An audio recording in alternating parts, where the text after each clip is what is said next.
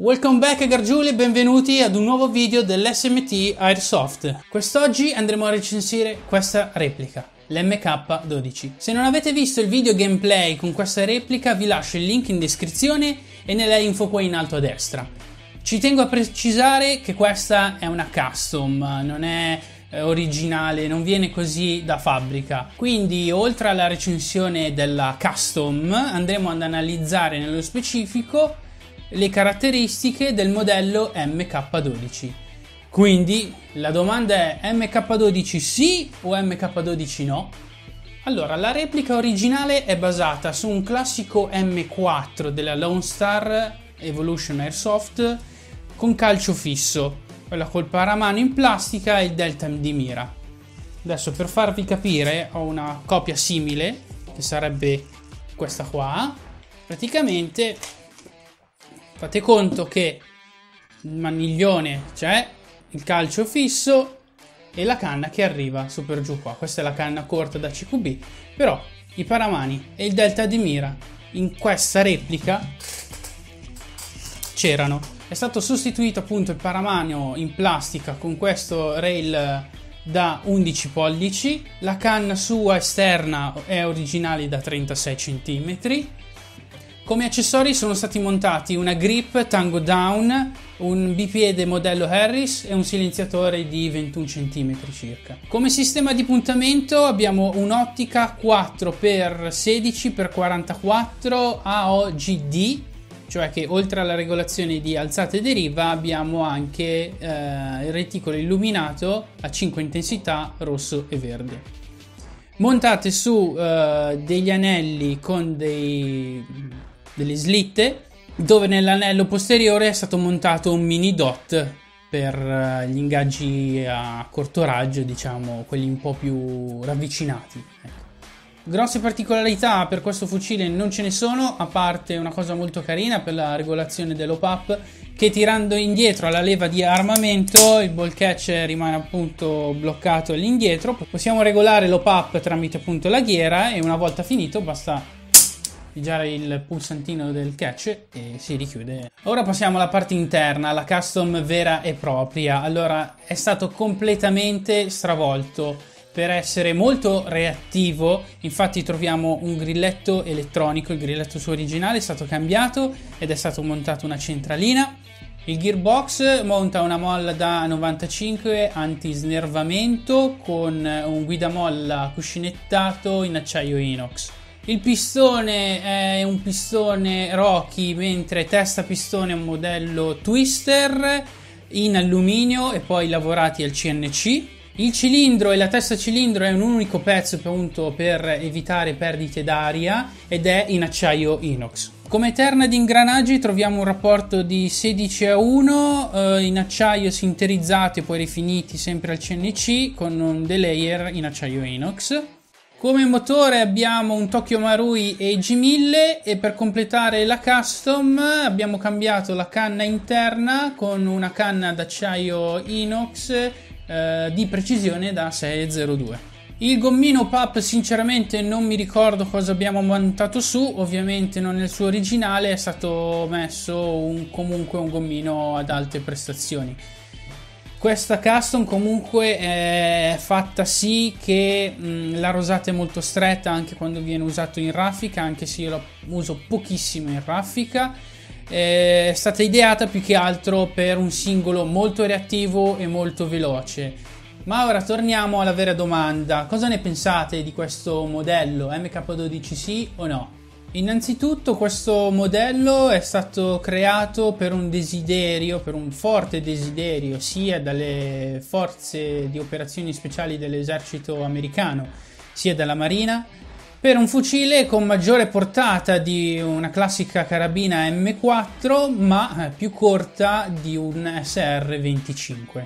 Quindi un fucile per tiratori scelti con ottime prestazioni ma delle dimensioni ridotte per facilitare sia l'utilizzo e eh, il trasporto in qualsiasi ambiente, dalla zona urbana ad ambienti aperti di qualsiasi tipo.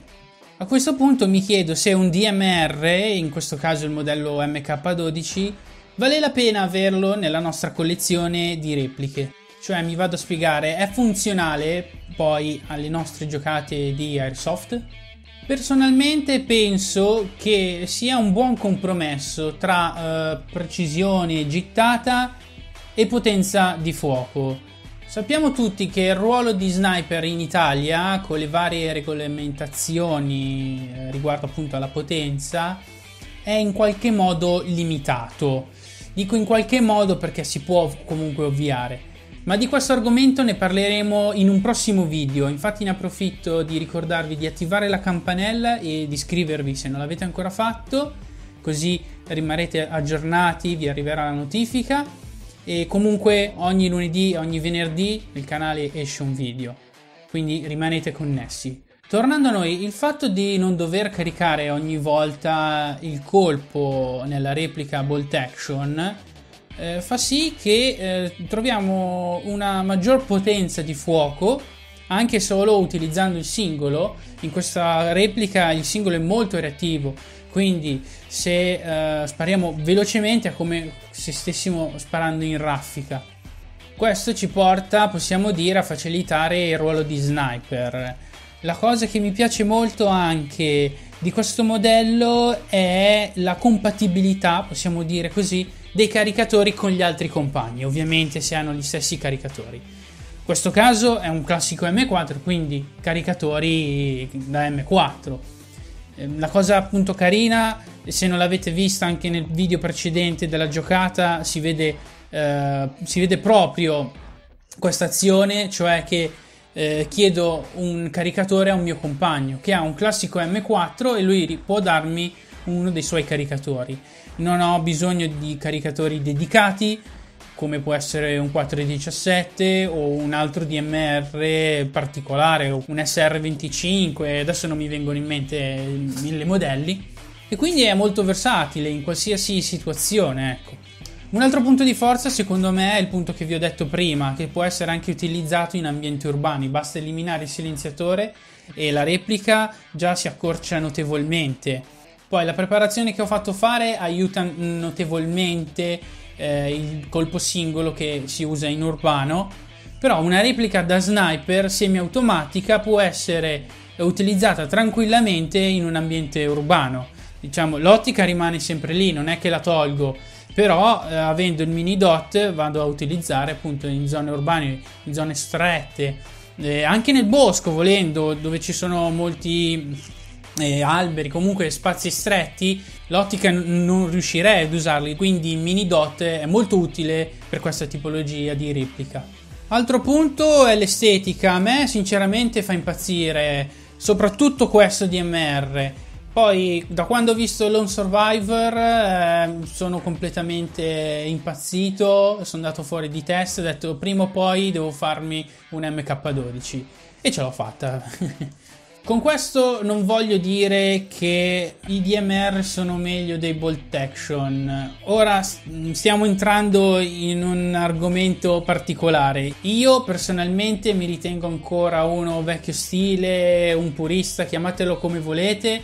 Se devo fare lo sniper vero e proprio, quindi con ghilli, bolt action e arma secondaria.